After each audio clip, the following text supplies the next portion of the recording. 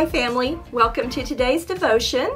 Our scripture is found in Isaiah 43 18 through 19, and it says, Forget the former things, do not dwell on the past. See, I'm doing a new thing. Now it springs up. Do you not perceive it? I am making a way in the wilderness and in streams in the wasteland. Have you ever been faced with a new decision? It can be any decision a new career, a decision to move here or not to move here, a relationship, starting a new ministry. It can be anything, but it means change. And if you're anything like me, that can be pretty scary. You know, we often tend to focus on the past things and all the things that make us comfortable, and we get really frightened about the unknown things in the future. Uh, if you even know me a little bit, you know that I am not fond of change. I like things that are familiar and predictable, and that word comfortable again. If I'm really honest, um, a lot of it has to do with it's a lot of work to make changes. And I just can flow in it if I'm not having to make changes. But the problem with that is, am I flowing in the right direction? You know, I don't even rearrange things much in my house. And part of that is because, you know, I know where everything is at. And then there's this other issue I have is that I tend to hang on to a lot of stuff. But I'm starting to realize the problem with hanging on to a lot of stuff, that it really doesn't give a lot of room for the future. And so in that, I've realized that this is not only true personally, but this is true spiritually.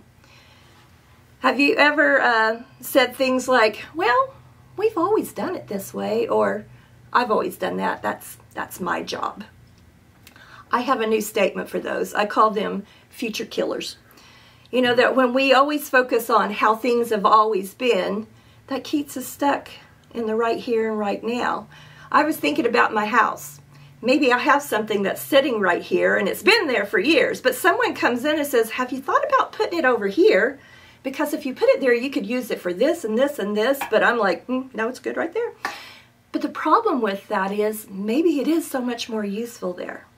Let's take this in our spiritual life. Maybe you've done the same thing for years and it's worked really well, but maybe that was God's training ground. And His goal for you was to take what you've learned there and to now move it over here. But we all know, yeah, that's uncomfortable. But God is always talking to us through the Holy Spirit. But we have to ask ourselves the question that was in the verse earlier which said, Do you not perceive it? Is he speaking where we're just not listening, but he's been talking this whole time? And it may mean that God is ready to uh, have us let go of the things from our past, the things that are holding us down, even emotionally. He wants us to look forward and He wants to use us in a new way. But we have to trust His guidance in this unfamiliar territory and we have to stop and listen to him in all the ways that he talks to us. He talks to us through his word. He talks to us through music on the radio, through other believers, through even just the things that we see around us and the needs that we see. But we have to trust him. And you will know that he's planting this new seed in you. And you may ask how. One of the things I've discovered is that it just keeps coming back to you. You'll hear it in a sermon. You'll hear someone talking about it, and God just keeps bringing it back to you. And this is meaning He's ready to do something new in you.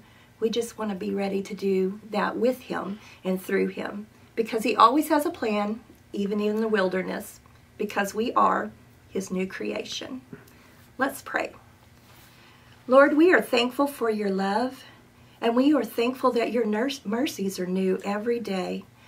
Lord, we are always thankful for your Son Christ, Lord, that brought us salvation and a new life. And we are blessed that you've given us an opportunity to serve you in your kingdom. Lord, we ask you to help us to be open and willing to hear and see the things that you are wanting to do in our lives and how we are a part in growing your kingdom.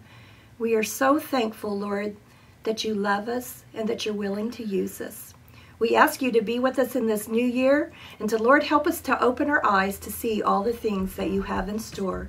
In your precious name we pray. Amen.